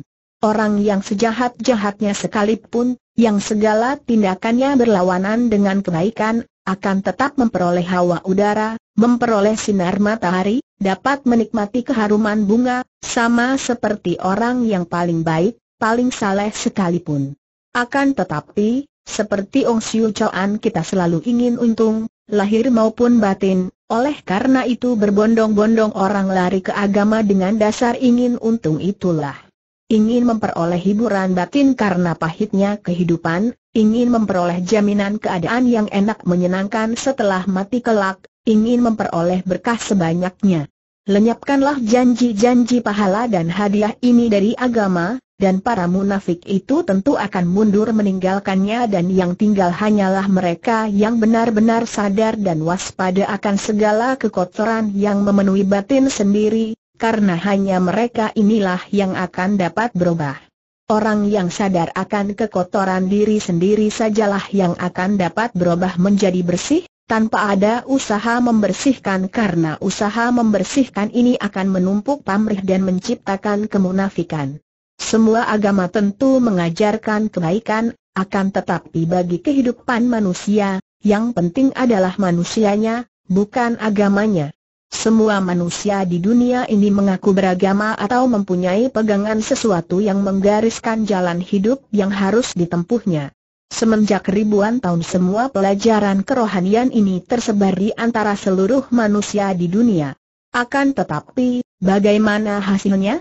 manusia tetap saja hidup dalam lembah kesengsaraan, hidup dalam neraka dunia yang penuh dengan kebencian, iri hati, dengki, kemurkaan, permusuhan sehingga cinta kasih makin muram kehilangan sinarnya karena tertutup oleh segala macam hawa nafsu angkara yang merupakan debu-debu kotor hitam tebal itu. Permusuhan terjadi bukan hanya antara perorangan, bukan hanya antara suku dan antara kelompok, bahkan meluas menjadi antara bangsa, antara negara sehingga timbullah perang yang amat kejam, pembunuhan dan pembantaian semena-mena yang lebih biadab daripada perbuatan golongan yang dianggap masih liar dan buas sekalipun. Jelaslah di sini bahwa manusianya yang menentukan, bukan agamanya. Dan jelaslah bahwa yang dapat merubah manusia adalah diri sendiri masing-masing, dengan pengenalan diri sendiri sehingga nampak segala kekotoran yang membutakan mata hati, yang menulikan telinga hati. Demikianlah halnya dengan Ong Siu Choan. Pemuda ini memiliki cita-cita yang muluk, dan makin besar cita-cita seseorang, makin besar pula lah akunya dan makin besar pamrihnya sehingga semua perbuatannya ditujukan dengan pamrih untuk memperoleh keuntungan bagi diri sendiri sebesar-besarnya. Perbuatan itu mungkin di mata umum bisa disebut perbuatan buruk atau perbuatan baik, akan tetapi apa pun macam perbuatan itu, selalu di belakangnya terkandung pamrih untuk kepentingan diri pribadi. Tidak ada seorang pun mengetahui bahwa penyerbuan pasukan pemerintah di malam hari itu pun adalah hasil perbuatan Ong Siu Choan. Dialah yang diam-diam mengirim berita tempat persembunyian para pejuang itu kepada pihak pasukan pemerintah. Dia rela berkhianat untuk kepentingan diri sendiri, untuk melampiaskan iri hatinya terhadap Sengbu, kemarahannya terhadap Sila, dan untuk membuka kesempatan agar dia dapat merampas Sila dengan dalih menyelamatkannya, dan kalau mungkin membunuh sutenya sendiri. Tentu saja pihak pasukan pemerintah tidak tahu bahwa yang mengirim berita itu adalah Hong Siu Choan. Dan memang bukan maksud Siu Choan untuk membantu pasukan pemerintah. Sama sekali tidak. Dia membenci pemerintah Manchu, dan dia bercita-cita untuk membasmi pemerintah penjajah itu. Kalau dia dapat berbuat khianat pada malam hari itu adalah karena ada pamrih terhadap Sengbu dan Sila. Karena serbuan itu, beberapa orang pejuang tewas dan selebihnya cerai berai dan kacau balau, kocar kacir dan Siu Choan melarikan diri ke selatan, dan beberapa hari kemudian dia sudah bergabung kembali dengan orang-orang Tian Tepang dan dia memperoleh perawatan dengan baik. Untung tidak ada yang tahu tentang peristiwa antara dia dan Sengbu, dan mereka mengira bahwa tembakan yang mengenai ujung pundak Siu Choan itu dilakukan oleh seorang opsir pasukan pemerintah. Peristiwa pembakaran madat di kanton itu tidak berhenti sampai di situ saja. Pembakaran madat yang lebih dari satu juta kilogram banyaknya itu juga mulai menyalakan api perang yang kemudian terkenal dengan sebutan Perang Madat selama tiga tahun, tahun 1839, 1842. Peristiwa pembakaran madat disusul pembunuhan terhadap orang kulit putih yang sesungguhnya dilakukan oleh golongan-golongan yang anti kulit putih, bukan oleh pemerintah Manchu, dianggap oleh pemerintah Inggris sebagai suatu penghinaan terhadap bangsanya. Apalagi ada laporan dari Kapten Charles Elliot yang didesak oleh para pedagang untuk minta bantuan pasukan, maka pemerintah Inggris lalu mengirim armada ke timur. Kapal-kapal perang dengan pasukan-pasukan yang cukup kuat dikirim dan kanton diserang dari lautan, dihujani peluru meriam. Pasukan-pasukan Inggris berusaha untuk mendarat akan tetapi usaha mereka itu selalu menemui perlawanan yang amat kuat. Dalam hal ini, tanpa persekutuan yang syah, pemerintah penjajah Manchu menerima bantuan yang amat besar dari rakyat, dari perkumpulan-perkumpulan para patriot yang tidak suka melihat bangsa kulit putih hendak menguasai tanah air para pendekar segera bangkit dan untuk sementara menghentikan kegiatan mereka memusuhi pemerintah Manchu karena mereka kini menganggap bahwa ancaman pasukan asing itu lebih berbahaya. Terjadilah perang di mana-mana, perang antara senjata api melawan anak panah dan senjata-senjata tajam. Pasukan Inggris tidak pernah berhasil mendarat karena perlawanan yang amat kuat. Panglima Lim Su memimpin pasukannya dan melakukan perlawanan mati-matian, dan penyerbuan pasukan Inggris itu akhirnya hanyalah kandas di pantai-pantai saja, di mana akibat-akibat perang terjadi. Perampokan-perampokan, pembunuhan-pembunuhan dan perkosaan-perkosaan terjadilah di pantai-pantai terhadap penduduk yang berada di sekitar pantai. Namun, Pasukan-pasukan kulit putih itu akhirnya harus mengakui bahwa kekuatan-kekuatan pihak musuh di daratan terlalu sukar untuk dapat ditembus. Setelah peperangan yang kacau ini berlangsung hampir tiga tahun lamanya, Inggris hanya berhasil menduduki Pulau Hong Kong yang letaknya di depan kota Kanton. Pulau ini dijadikan pangkalan oleh armada Inggris, namun semua penyerangan mereka di daerah pantai timur daratan Tiongkok selalu mengalami kegagalan. Kalau pasukan Inggris yang dipukul mundur melarikan diri ke kapal-kapal perang mereka, maka perang masih juga terjadi di darat, yaitu pasukan-pasukan para patriot yang anti pemerintah penjajah lalu berbalik dan menyerang pasukan pemerintah sendiri. Memang mereka ini sejak dahulu ingin menjatuhkan kekuasaan Manchu, dan mereka ikut menghalau orang kulit putih bukan untuk membantu pemerintah, melainkan khawatir kalau-kalau bangsa kulit putih akan menguasai tanah air mereka. Tentu saja pukulan-pukulan bertubi dari orang kulit putih yang datang dari luar, dan pukulan-pukulan para pemberontak dalam negeri membuat pasukan pemerintah Manchu menjadi lemah. Hal ini diketahui dengan baik oleh para matu-matu yang disebar oleh Inggris. Akhirnya dalam tahun 1842, Inggris dengan cerdik lalu menyelundupkan kapal-kapalnya melalui sungai yang cekiang, berlayar mudik. Pemerintah Manchu di Peking terkejut bukan main. Dengan dikuasainya sungai besar itu oleh orang kulit putih, maka hubungan antara lembah yang cekiang dan Peking tertutup dan terancam. Keselamatan keluarga kaisar di Peking dapat terancam kalau begitu. Istana menjadi gentar dan panik, dan melalui menteri-menteri yang memang condong untuk berbaik dengan orang-orang kulit putih yang mendatangkan banyak keuntungan kepada mereka melalui madat, akhirnya pemerintah Manchu membujuk Inggris menghentikan perang. Tentu saja hal ini sama dengan pernyataan tunduk dan kalah. Sebagai pihak pemenang yang ditakuti, Inggris mempergunakan kesempatan itu sebaik-baiknya. Kemenangan dalam tahun 1842 ini membuat mereka dapat memaksa Kaisar untuk melakukan hal-hal yang membuat panas hati dan perut para patriot. Pertama-tama, untuk menyenangkan hati orang-orang kulit putih itu, Kaisar memecat Panglima Lim Chesu dan membuangnya. Kemudian, Hong Kong diserahkan kepada Inggris begitu saja. Pelabuhan-pelabuhan di Tiongkok Selatan, termasuk kanton, dibuka lebar-lebar dan diperbolehkan menerima pedagang-pedagang kulit putih untuk masuk dan berdagang di situ dengan bebas, juga diperbolehkan untuk bertempat tinggal di situ sebagai pedagang-pedagang yang dihormati. Bahkan orang-orang kulit putih lainnya, seperti orang-orang Portugal dan orang-orang Perancis, ikut-ikutan membonceng kemenangan Inggris ini dan ikut-ikutan menuntut agar mereka pun diperbolehkan membuka perdagangan di pelabuhan-pelabuhan itu. Sebagai negara yang kalah perang, pemerintah Manchu yang sudah tidak berdaya itu terpaksa menuruti tuntutan-tuntutan itu. Makin banyaklah perjanjian-perjanjian perdamaian dibuat, yang sesungguhnya merupakan perjanjian yang menguntungkan orang-orang kulit putih dan terpaksa disetujui oleh pemerintah Manchu. Yang merasa tidak puas dan marah adalah para pendekar yang mewakili rakyat untuk mempertahankan tanah air dari kekuasaan asing. Pemerintah Manchu adalah pemerintah asing yang menjajah. Pemerintah itu belum juga dapat dihalau, dan sekarang sudah bertambah lagi dengan bercokolnya orang-orang asing kulit putih yang menjajah melalui perdagangan. Tentu saja hal ini menambah adanya pemberontakan-pemberontakan dan kekacauan-kekacauan.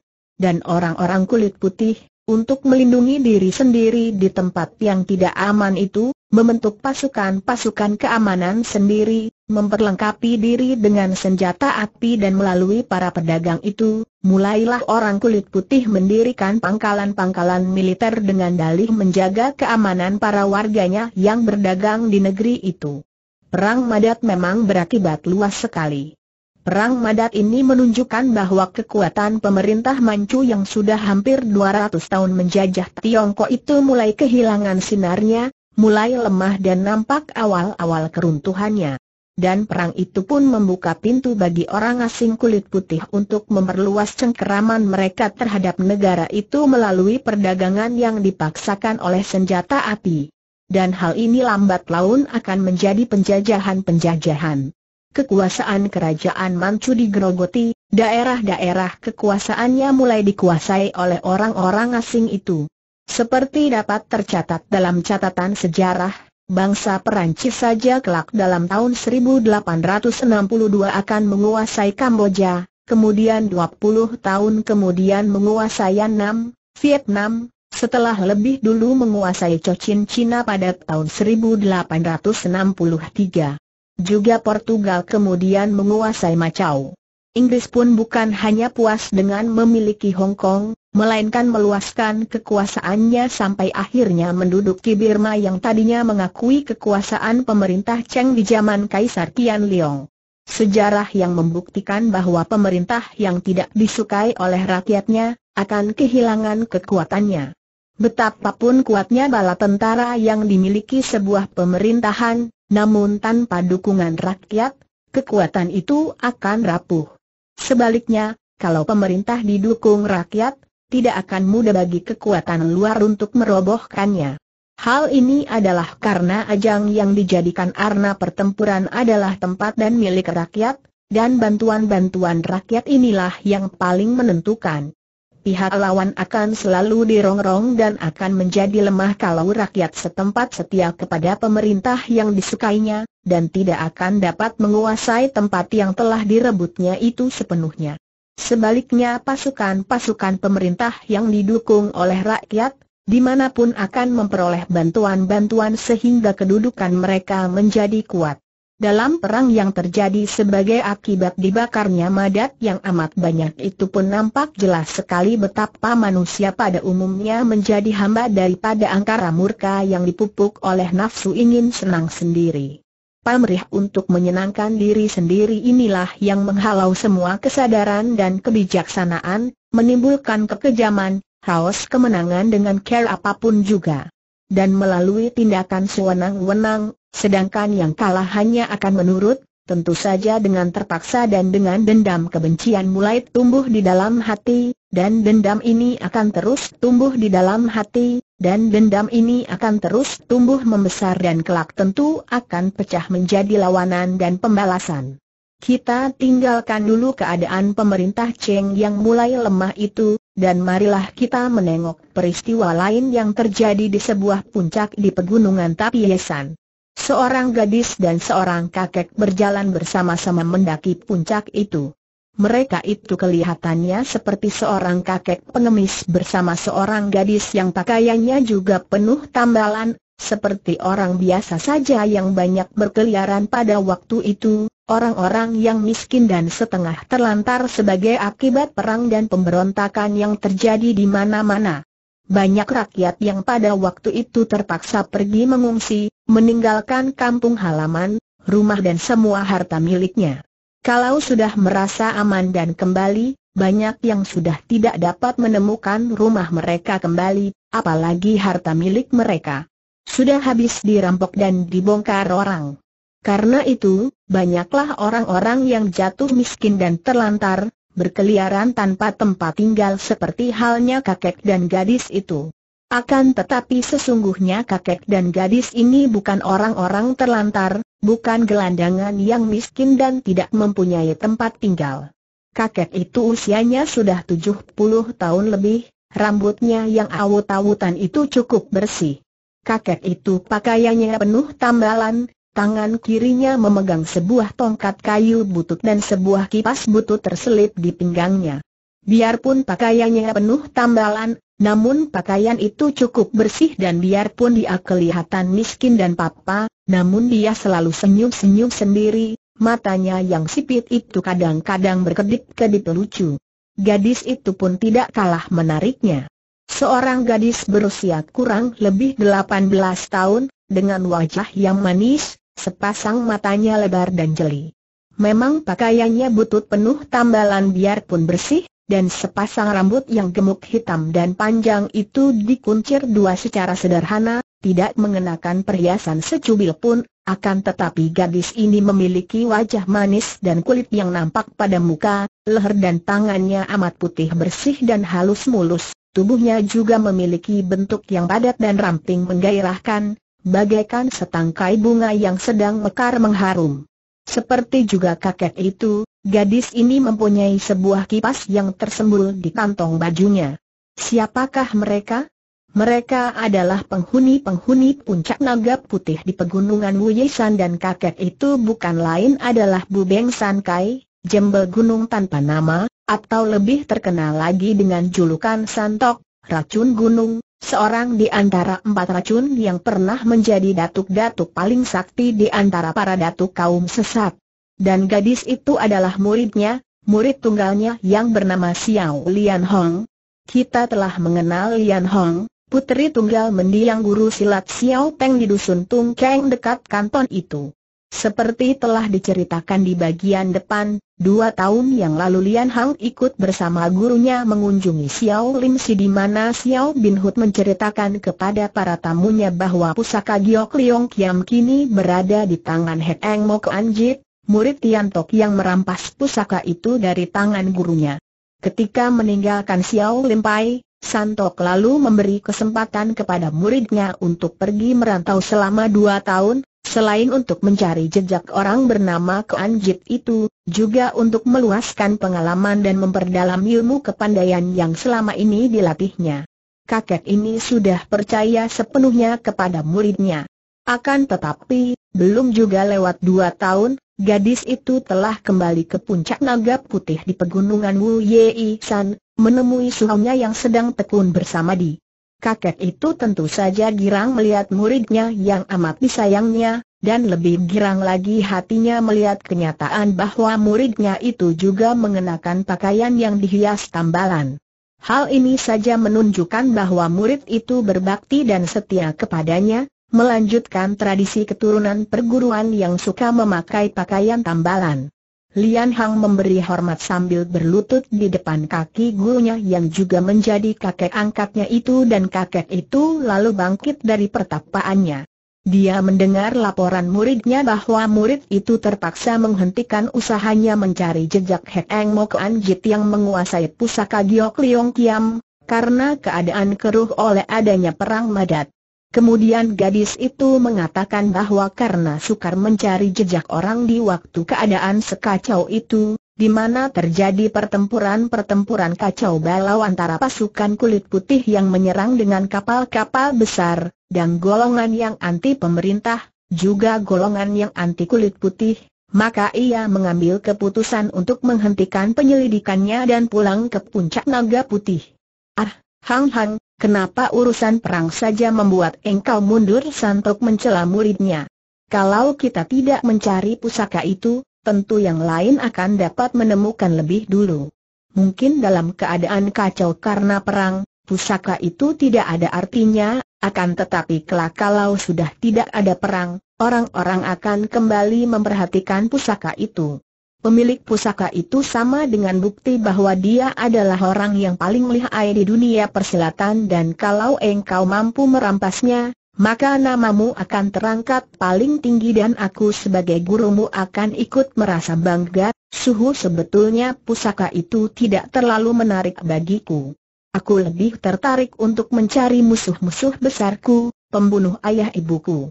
Akan tetapi ketika aku pergi ke Tungkang, Ternyata si Jahanam Chiu Lok Tai telah tewas bersama keluarganya ketika diserbu oleh pasukan pemerintah.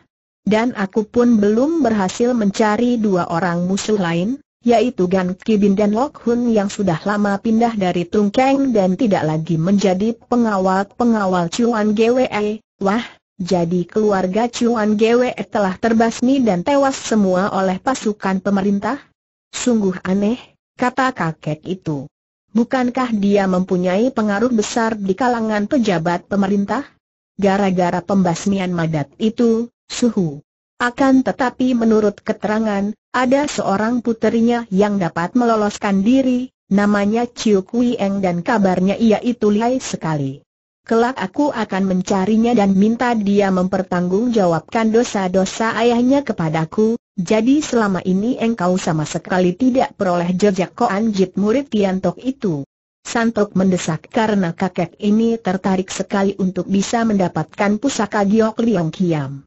Beberapa kali aku menemukan jejaknya, akan tetapi selalu hanya memperoleh jalan buntu. Akan tetapi jejaknya yang kedapati di daerah Tapiesan membawaku ke sebuah tempat yang luar biasa, suhu. Aku tidak menemukan dia di sana, jejaknya hilang lagi akan tetapi aku menemukan sesuatu yang amat aneh dan mengerikan, apa itu aku menemukan sebuah guha yang dalamnya terdapat sebuah sumber air yang mengeluarkan asap berbau aneh. Dan di situ nampak sesosok mayat terendam, akan tetapi mayat itu sama sekali tidak membusuk. Banyak pula tengkorak manusia kulihat di dalam guha itu. Ihaha, mengerikan dan aku segera pergi meninggalkan tempat itu, eh, menarik sekali. Mari kita ke sana, untuk apa, suhu menarik sekali ceritamu. Tentu ada hal-hal yang penting di situ. Bawa aku ke sana, Hang Hang, demikianlah, Kedua orang guru dan murid itu lalu melakukan perjalanan dan pada pagi hari itu mereka sudah tiba di lereng puncak di pegunungan Tapiesan seperti yang diceritakan oleh Lian Hang kepada gurunya. Setelah tiba di puncak, Lian Hang membawa suhunya ke guha itu. Guha itu aneh sekali. Mulut guha lebar akan tetapi tidak berapa tinggi sehingga ketika memasuki guha santok yang agak jangkung harus menunduk. Dan di sebelah dalam guha itu tumbuh sebatang pohon yang daunnya sudah rontok semua, tinggal cabang dan ranting yang sudah mengering. Melihat keadaan ini, mudah diduga bahwa guha ini dahulunya bukan guha dan terbentuk dengan runtuhnya batu-batu besar dari puncak menimbun tempat itu sehingga pohon itu pun tertimbun batu dan kini berada di dalam sebuah guha. Begitu memasuki guha itu, yang nampak adalah sebatang pohon yang tinggal batang, cabang dan rantingnya, dan terciumlah bau yang aneh dan keras. Juga nampak asap mengepul, terasa hawa yang agak panas. Di sinilah tempatnya, suhu, kata Lian Hang dan gadis ini sudah berlutut di tepi sebuah kolam kecil di mana terdapat air yang bergolak dan mengeluarkan asap yang berbau lerang. Di tepi kolam itu terdapat batu-batu besar dan nampak ada beberapa buah tengkorak manusia di situ. Akan tetapi yang amat mengerikan, di tengah-tengah kolam itu nampak seorang kakek tua renta yang rambut dan jenggotnya sudah putih semua. Kakek itu nampak terendam di dalam air sebatas dada, kelihatan seperti orang tidur saja, tubuhnya tak bergerak-gerak dan kedua matanya terpejam. Ah ah ah, Sungguh menarik tanda seru kata Santo yang berdiri di tepi kolam sambil meneliti keadaan kolam itu. Aneh akan tetapi tidak ada apa-apanya, suhu. Aku pernah datang ke sini dan melihat keadaan ini, aku lalu cepat pergi lagi. Ketika menyelidiki jejak Ko Anjit, jejak itu membawaku ke sini, akan tetapi di sini aku kehilangan jejaknya tidak nampak seorang pun manusia di puncak ini sehingga aku tidak dapat mencari keterangan lagi tentang dia, hem, kalau Keanjit sampai mendatangi tempat ini, berarti amat penting. Mungkin ada rahasia tersembunyi di tempat ini. Mari kita selidiki, kata kakek itu dan mulailah dia melakukan penyelidikan, meneliti dinding batu di sekitar tempat itu. Akan tetapi tidak ada sesuatu yang aneh. Semua dinding adalah batu-batu yang wajar saja dan makin jelaslah kini bahwa tempat itu, mata air panas dan pohon itu, tadinya merupakan tempat terbuka dan kemudian tertimbun oleh batu-batu dari puncak yang agaknya longsor ke bawah. Akan tetapi peristiwa itu tentu telah terjadi lama sekali sehingga membentuk sebuah guha aneh ini. Lian Hang juga membantu suhunya melakukan penyelidikan. Sampai beberapa jam lamanya mereka mencari-cari tanpa hasil. Suhu, kalau ada rahasianya, agaknya terdapat dalam kolam air ini, tiba-tiba Lian Hang berkata. Lihat, mayat kakek itu tidak membusuk, ini saja menunjukkan bahwa air sumber ini, yang bergolak seperti mendidih dan mengeluarkan asap berbau aneh, mengandung sesuatu yang luar biasa, yang membuat mayat itu tidak rusak. Ha, engkau benar, Hang Hang, tentu rahasianya terdapat di dalam sumber atau mata air itu. Orang itu agaknya sejak dahulu duduk di situ sampai mati dan air panas yang mengandung belerang itu membuat mayatnya tidak rusak. Sudah beberapa kali aku melihat sumber air seperti ini yang keluar dari dalam perut bumi. Tidak ada yang aneh mengenai air seperti itu. Akan tetapi kolam ini seperti dibuat merendam tubuhnya. Lihat batu-batuan itu, bukankah batu-batu besar itu seperti sengaja diletakkan di situ untuk membentuk kolam? Dan air yang luber mengalir keluar melalui samping guha. Kalau batu-batu itu digempur dan dibongkar, tentu dasarnya akan nampak dan siapa tahu di situ letak rahasianya, dibantu oleh muridnya, Santok lalu membongkar batu-batu besar itu. Kepandaian dan tenaga sakti guru dan murid itu memungkinkan mereka membongkar batu-batu besar dan akhirnya air yang berbau belerang itu pun mengalir turun karena batu-batu yang menjadi bendungan itu bobol.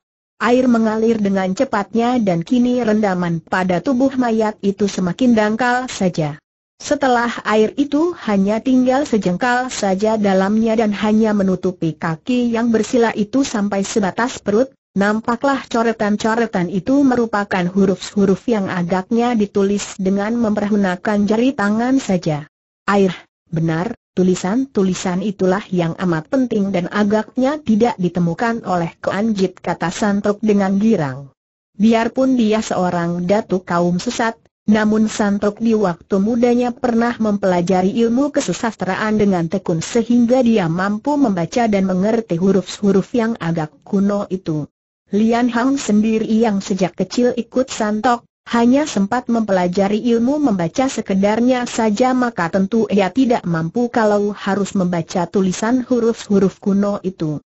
Dengan suara bisik-bisik yang hanya dapat didengar oleh Lian Hong, Santok lalu membaca huruf-huruf itu satu demi satu sehingga dapat dirangkai menjadi kalimat-kalimat yang jelas. Serigala-serigala hina pencari pusaka satu demi satu mampus di tangan Kwei Ong, ya. Tetapi karena Tian Tepai gerombolan hina memaksa aku bersembunyi di sini dan bertapa. Giok Liong Kiam pusaka pembuka rahasia penyimpan benda-benda pusaka berharga tak mungkin ditemukan siapa pun juga tanpa bantuan Giok Liong Kiam kedua. Akulah pembuat Giok Liong Kiam kedua dari batu sumber menggantikan Kemala. Di dalam gagangnya tersimpan rahasia tempat simpanan Giok Liong Kiam pertama setelah membaca semua kalimat itu, Santok tiba-tiba tertawa bergelak. Lian Hang yang belum begitu mengerti akan arti tulisan itu, memandang heran dan bertanya, Suhu, mengapa Suhu tertawa setelah membaca tulisan itu ha, ha, ha, betapa lucunya. Agaknya si Kwei Iong, Raja Setan, ini selain liai, juga amat cerdik dan licin, pandai berkelakar pula. Hang Hang, dari tulisannya ini jelaslah bahwa si Koan Jit itu, murid pertama si gendut Tian Tok, hanya menguasai giok liong kiam palsu. Haha, yang dijadikan rebutan selama ini oleh semua tokoh Kang Ou, yang menimbulkan kekacauan dan keributan itu bukan giok liong kiam asli, melainkan tiruan yang dibuat oleh Kwe Yong ini. Ha, ha, ha apakah yang suhu maksudkan dengan semua itu? Aku tidak mengerti, kakek itu masih tertawa bergelak, kemudian setelah ketawanya mereda, baru dia menerangkan kepada muridnya. Dari tulisannya itu dapat kita ketahui semuanya, Hang Hang. Kakek luar biasa ini berjuluk Kwe Iong, julukan yang jumawa sekali. Agaknya dialah yang dahulu berhasil menguasai Giok Liong Kiam yang asli. Tentu banyak tokoh persilatan yang berusaha merebut pusaka itu, akan tetapi dia berhasil membunuh mereka satu demi satu. Lihat saja tengkorak-tengkorak yang berserakan di sini, agaknya itulah musuh-musuhnya yang dibunuhnya karena hendak merampas Giok Liong Kiam. Akan tetapi dari tulisannya dapat diduga bahwa dia merasa gentar menghadapi desakan Tian Tepai yang agaknya pada waktu itu memiliki banyak orang pandai. Tian Tepai memaksa dia bersembunyi dan bertapa, dan dia lalu memperoleh akal, menyembunyikan pusaka Giok Liong Kiam di suatu tempat rahasia lalu dia membuat sebuah Giok Liong Kiam palsu. Ha, ha, dia membuatnya dari batu kali atau batu di sumber ini sebagai pengganti kemala. Dan agaknya pusaka palsu inilah yang akhirnya terjatuh juga ke tangan Tian Tepang atau Tian Tepai dan menjadi pusaka simpanan perkumpulan itu sampai akhirnya dicuri orang dan menjadi perebutan, dan akhirnya dicuri dari tangan Tian Tok oleh muridnya sendiri. Ha, ha, kalau diingat betapa kita semua ribut-ribut memperebutkan benda palsu. Akan tetapi, Hanya Kwe Yong inilah yang tahu bahwa rahasia tempat penyimpanan Giok Liong Kiam yang asli berada di dalam gagang Giok Liong Kiam yang palsu. Dan kini agaknya hanya kita yang mengetahuinya. Biarpun pusaka di tangan Koanjit itu palsu, akan tetapi bagi kita masih tetap berharga karena di dalam gagangnya terkandung rahasia penyimpanan yang asli. Dan agaknya, pusaka Giok Liong Kiam itu diperebutkan orang bukan hanya karena pusaka itu berharga dan amat langka, melainkan pusaka itu pun menyembunyikan rahasia penyimpanan benda-benda pusaka yang amat berharga. Mengertikah engkau kini? Hang Hang Lian Hang mengangguk dan memandang kagum kepada mayat telanjang yang terendam air sampai ke perut itu. Bukan main. Kakek ini dahulunya tentu pandai sekali, suhu, gurunya mengangguk, akan tetapi kakek ini masih terus menyelidiki batu-batu di sekitar tempat mayat itu duduk bersila dan akhirnya dia menemukan apa yang dicari. Yaitu coretan huruf-huruf kecil di sebuah batu yang merupakan catatan tentang Hiok Liong Kiam. Agaknya di tempat inilah Kwei Ong membuat pusaka yang palsu dan dia membuat catatan-catatan Giok Liong Kiam asli agar pemasuan itu dapat dibuat sebaik mungkin. Catatan itu menggambarkan macam giok liong kiam, ukurannya san sebagainya. Santok lalu mengeluarkan sebuah kipas dan dengan teliti dia mencatat semua itu di atas kipasnya. Setelah selesai, dibantu oleh Lian Hong, kakek ini lalu kembali memasang batu-batu besar sebagai bendungan dan tak lama kemudian, air sumber yang terbendung itu membuat kolam yang merendam tubuh Kwei Ong berikut batu-batu di sekelilingnya. Akan tetapi terlebih dahulu Santok yang cerdik itu melenyapkan tulisan-tulisan di permukaan batu dengan gempuran-gempuran, menggunakan batu lain sehingga permukaan batu itu hancur dan tulisannya pun lenyap. Hang Hang, engkau sudah melihat semua ini dan kini makin jelas pula betapa pentingnya kita dapat menguasai Giok Liong Kiam.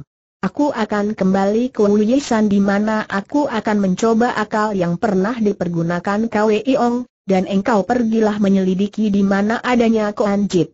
Akan tetapi jangan engkau turun tangan karena hal itu tentu amat berbahaya, suhu menyuruh aku menyelidiki, akan tetapi kalau sudah ku ketahui tempatnya, aku tidak boleh turun tangan. Apa maksud suhu aku akan membuat giok liong kiam palsu seperti yang pernah dilakukan Kwei Ong? Aku sudah mencatat segala bentuk dan ukurannya. Sementara aku mencoba membuat yang palsu itu, engkau pergi mencarinya. Setelah engkau berhasil, cepat mengabarkan padaku. Kita harus dapat menukar pusaka di tangan Koanjit itu dengan yang palsu, Lian Hang semakin tidak mengerti. Ia mengerutkan alisnya dan memandang wajah suhunya dengan heran. Suhu ini aneh sekali. Sudah mengerti bahwa pusaka di tangan Koanjit itu palsu, Mengapa kini suhu hendak menukarnya lagi dengan yang palsu buatan suhu? Kalau memang sudah kita ketahui tempatnya, kita rampas saja pusaka itu, kenapa susah-susah hendak menukarnya seolah-olah suhu takut kepada keanjit itu kakek kurus itu tertawa lebar. Hahaha, engkau belum mengerti, muridku yang baik. Aku tidak takut kepada keanjit, bahkan terhadap gurunya sekalipun aku tidak takut. Akan tetapi ketahuilah, semua orang di dunia persilatan berlomba untuk memperebutkan pusaka itu. Kini mereka semua tahu bahwa pusaka itu berada di tangan Koanjit sehingga mereka semua tentu akan mencari Koanjit. Kalau kita merampas pusaka itu begitu saja dari tangan Koanjit, tentu perhatian semua tokoh persilatan berbalik kepada kita dan kehidupan kita tentu tidak akan tenteram lagi. Ingat saja halnya Kwei Ong yang akhirnya mati di tempat ini tanpa dapat menikmati pusaka yang dikuasainya.